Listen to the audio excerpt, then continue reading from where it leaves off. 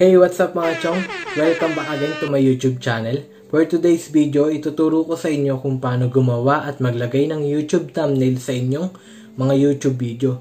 So yun mga chong, napansin ko kasi sa mga kapwa ko uh, small YouTuber, napansin ko sa mga video nila, wala silang mga YouTube thumbnail. So yun, naisip ko baka hindi nila alam kung paano gumawa Baka hindi nila alam kung paano maglagay ng YouTube thumbnail. Kaya naisip ko gumawa ako ng video tutorial para sa paglalagay ng YouTube thumbnail sa mga video nila. So yun, hindi ko na patatagalin to. At yun mga chong, ang application na kailangan natin gamitin sa paggawa ng thumbnail natin ay yung PixArt. Then, kung wala pa kayong PixArt, download nyo na yan sa may Play Store. Pagka-download nyo, open nyo siya. Pagka open nyo, pindutin nyo lang yung plus sign sa baba. Then, pili kayo ng background na gusto nyo. Yan. Ito, itong mga to, free yan. Yung mga walang corona. Pero itong may mga coronavirus, may bayad yan. May mga bayad yung mga may coronavirus. So ako, dito ako sa mga free. Then, ang madalas kong ginagamit sa mga background is ito. Yan ang madalas kong ginagamit. Pagka pindot nyo ng background nyo, um, punta kayo sa may tools, i-crop nyo siya na pang YouTube. Yan, pili kayo sa gilid. Yan, YouTube. Pagka, pagka, pagka pili nyo ng YouTube is, check nyo lang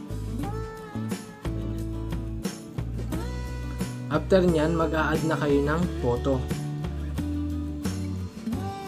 Add photo. Then, pili kayo ito.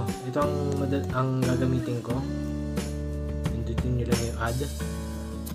Malakihin nyo lang siya. Yan. So, kung gusto nyo siyang i-crop tulad ng ginagawa ko sa mga YouTube YouTube thumbnail ko, ang um, pipindutin nyo lang is yung cut out. Yan. Cut out.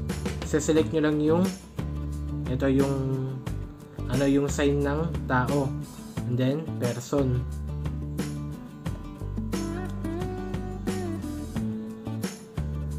Patayin lang natin. Yan. So yun. Yung, yung nakapula na yan ibig sabihin yan is yan yung malalagay na picture dun sa may ano sa may background nyo gagawin nyo para mas malinis is kulayan nyo lang. Kulayan nyo lang yung gilid. May mga part kasi na hindi siya nasasama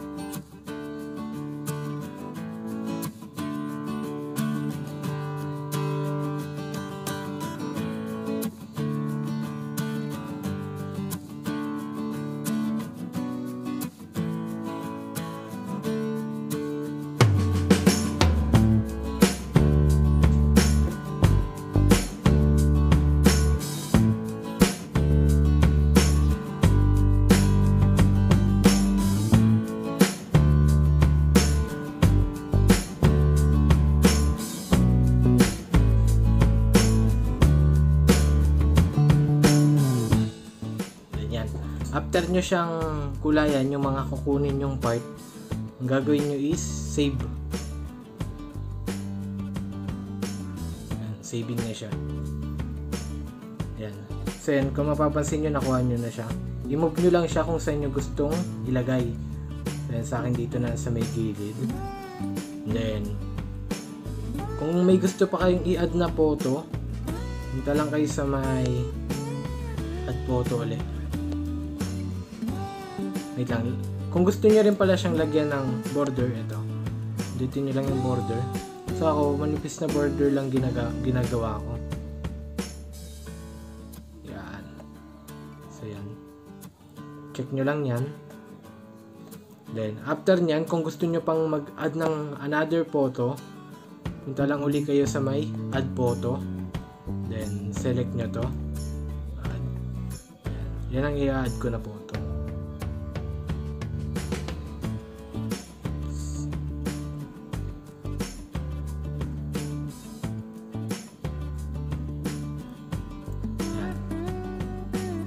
At yun mga chong, after nyo siyang lagyan ng mga photo na gusto nyong ilagay sa background nyo, ang gagawin naman natin is maglalagay tayo ng text na about dun sa video mo. Pag mag-add kayo ng text, punta lang kayo sa may text. Then, type nyo lang kung anong gusto nyo ilagay na ano, about dun sa video nyo.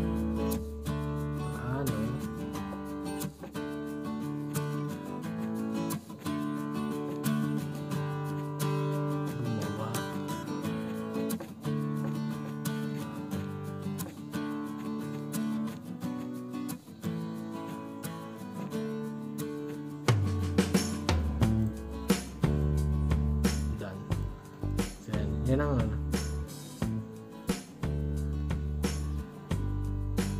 Lakihan nyo lang siya.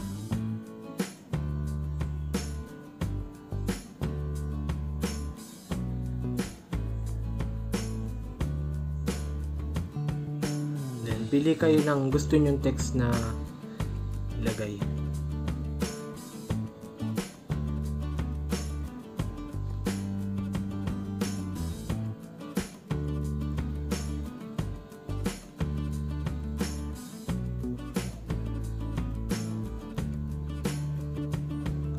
Then, kung gusto nyo siyang palitan ng kulay, yung text niya, pindutin nyo lang yung color, then pili kayo ng gusto nyong kulay na ilagay nyo.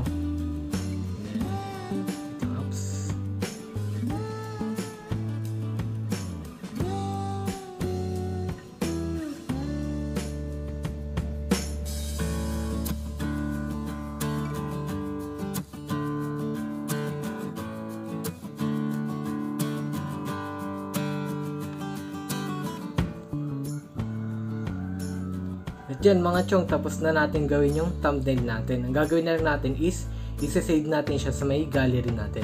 Pindutin nyo lang yung check sa may taas, and then yung arrow, X nyo lang yan. Save nyo lang siya, then save picture. X nyo lang, then back discard nyo na yan.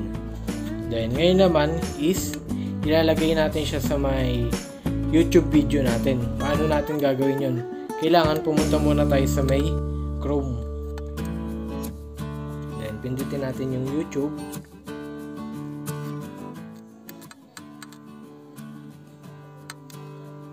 Kailangan naka-desktop site yung YouTube natin.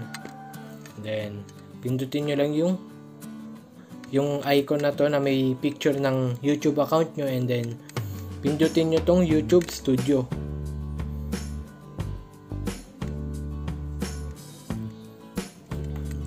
Then after nyan, punta kayo sa may mga videos ninyo dito. Yan. Then pili kayo dyan kung ano yung lalagyan nyo nung ano nung thumbnail na yon. Then, ako, ito na lang yung lalagyan ko kasi ito, yung mga video ko kasi may mga thumbnail na. Itong mga dati ko na lang. Ito na siguro. Ayan. Pindutin nyo lang yan. Then, pagka pindot nyo yan is, dito kayo mapupunta. Pag maglalagay kayo ng thumbnail, pipindutin nyo lang tong upload thumbnail. Ganyan. Kasi ito na yung thumbnail natin kanina na ginawa. Pindutin nyo lang, done. Yan, may thumbnail na yung video nyo. Ang gagawin nyo na lang ay isi-save nyo. Save. After nyan, balik na uli kayo sa may videos nyo para makita nyo kung nandoon na siya.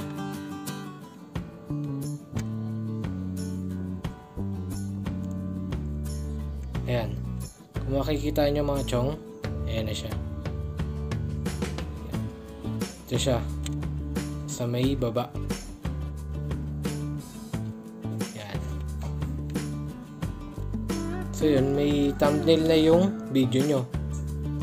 At yun mga chong, hanggang dito na lang ang video na to. At kung may natutunan ka sa video na to, please like this video, subscribe to my channel, and don't forget to click the bell button para updated ka sa susunod kong mga vlogs.